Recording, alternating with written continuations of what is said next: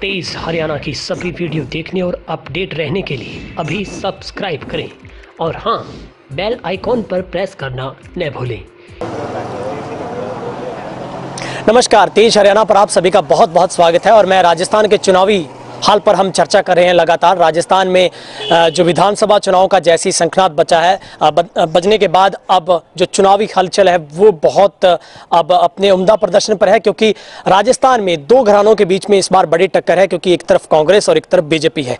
कांग्रेस में इस बार कांग्रेस को अपनी सत्ता में दोबारा वापसी करने के लिए एक जद्दोजहद करनी पड़ेगी और हर मुमकिन प्रयास है कांग्रेस की कि उसको सत्ता में वापस आना है। लेकिन वहीं वसुंधरा राजे के लिए बीजेपी में इस बार अपने किले को बचाना एक सबसे बड़ी चुनौती है। लेकिन इस सब के बीच में आम आदमी पार्टी ने भी दस्तक राजस्थान चुनाव में दे दी है, जहाँ पर पंजाब और हरियाणा और दिल्ली में कब्जा करने के बाद आम आदमी पार्टी इस बार राजस्थान चुनावों में भी अपनी किस्मत आजमाने के लिए उतरी है। हालाँकि जहाँ पर केजरीवाल साहब नज़र नहीं आ रहे, लेकिन कार्यकर्ताओं ने अपने लेवल पर अपने तरीके से एक सब कुछ तैयार किया। क्यों ना राजस्थान की नब्ज को टटोला टटोला जाए, यहाँ के लोगों के क्या लोग राजस्थान के लोग समझते हैं? क्योंकि इस बार राजस्थान की जनता भी विकल्प के तौर पर किसी तीसरे को तलाशना चाहती है। लेकिन आम आदमी पार्टी इस बार किस तरीके से अपने आप को यहाँ पर आगे अपनी पेशी रखना चाहती है? मेरे साथ संघरिया विधानसभा सीट से इस बार जो आम आदमी पार्टी के कैंडिडेट हैं शर्मा जी एडवोकेट उन्होंने अपना नामांकन यहाँ से दर्ज किया। वो हमारे साथ हैं और राजस्थान के संघरिया विधानसभा से जो यहाँ से इंचार्ज हैं, अरविंदर जी, चार वो भी हमारे साथ हैं। सबसे पहले हमारे साथ शर्मा जी हैं। सर, आपने नामांकन किया है? जी सर। आप क्या कहेंगे? राजस्थान में पहली बार आम आदमी पार्टी अपना प्रदर्शन करने जा रही है और आपने संग्रिया को चुना है। क्या संग्रिया के मुद्दे रहने वाले हैं जो आपकी नज़र में है जिनको लेकर आप चुनावी मैदान में आए सर? आम आदमी पार्टी का जैसे हमारा मैनिफेस्टो है उसके अकॉर्डिंग हम यहाँ डेवलपमेंट की राजनीति करेंगे। हमारा प्रत्येक बार ऐसा ही होता है राजस्थान में एक कांग्रेस कभी बीजेपी और तीसरा विकल्प के रूप में हमारी जो पार्टी राजस्थान में एंटर हुई है तो ये संभवतः डेवलपमेंट की राजनीति करेगी। यहाँ जो भी डेवलपमेंट के कार्य हैं, वो उच्च स्तर के कार्य करेंगी। जैसे दिल्ली दिल्ली मॉडल जैसे ऑल वर्ल्ड में फ़ेमस हो गया, उसी दिल्ली को रोल मॉडल अपनाते हुए यहाँ कार्य करेगी। इसी उद्देश्य से राजनीति के विकल्प स्वरूप ये पार्टी आई है। अनिल जी पहली बार डेब्यू कर रहे हैं आप तो यहाँ से, क्योंकि राजस्थान में पहला डेब्यू आम आदमी पार्टी का है। आप लोगों के बीच में जा रहे हैं लोगों की प्रतिक्रिया क्या आ रही है? क्योंकि यहाँ पर तो हमेशा मुकाबला दो ही घरानों के बीच में होता है। एक तरफ़ कांग्रेस है दूसरी दूसरी तरफ़ बीजेपी है। आम आदमी पार्टी के प्रति पहले तो हमें सम्मान की दृष्टि से देखा जाता है। जिससे हमारा सीना और भी गर्व से हम्म, महसूस करते गर्व महसूस करते हैं।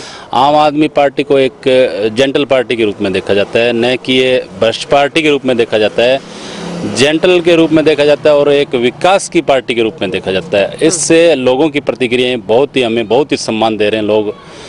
संग्रह विधानसभा के क्षेत्र में जब भी हम कहीं जाते हैं कंपेनिंग के लिए और रात को 10-10 बजे तक पैदल डोर टू डोर करते हैं तो हमें बहुत ही अच्छा रिस्पांस पब्लिक का मिल रहा है और बहुत ही अच्छा रिस्पांस आम आदमी पार्टी को मिल रहा है। सर, अगर आपके संग्रह की बात करूँ तो यहाँ पर भी बहुत सारे ऐसे चुनावी मुद्दे जो हर बार वो गरमराए रहते हैं। बस स्टैंड का सबसे बड़ा बड़ा मुद्दा है सीवरेज का यहाँ पे है पेयजल का यहाँ पे और मीरा कॉलेज। आपको लगता है आप भी इन सब मुद्दों को उठाने के लिए प्रयासरत हैं?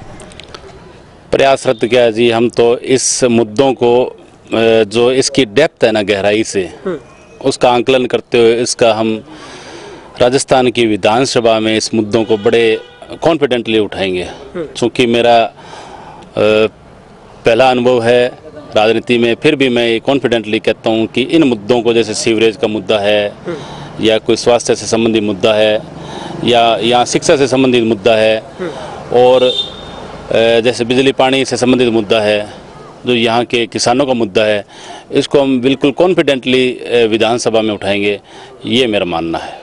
ठीक है तो सर आप, क्या मानते हैं आपकी आप टक्कर में हैं? क्योंकि यहाँ पर तो कांग्रेस का भी एक ऐसा चेहरा और बीजेपी का ही है। लेकिन आम आदमी ने कहीं ना कहीं मुश्किलें तो खड़ी कर दी इस बार।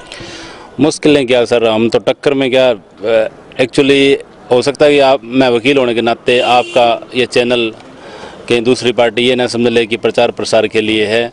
बाकी मैं एक्चुअली वास्तविकता ये कहता हूँ जहाँ भी पब्लिक में जाते हैं वो कहते हैं कि थोड़ी सी देरी होगी बट आप दुरुस्त हैं।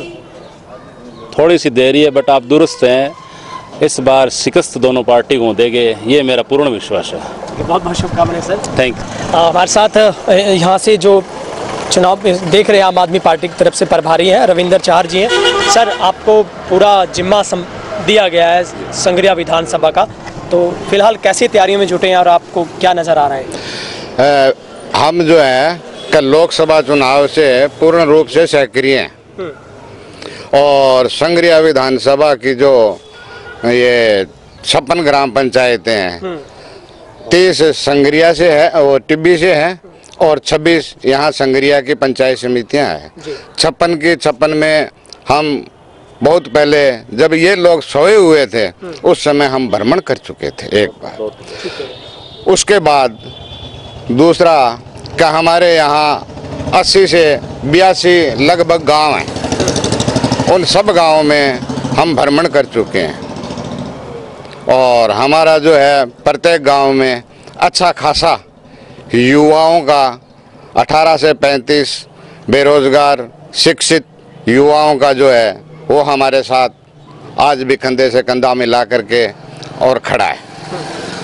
तो सर आ, क्या लगता है आपको राजस्थान में पहली बार इस बार आप चुनौती दे रहे हैं आम आदमी पार्टी की तरफ़ से?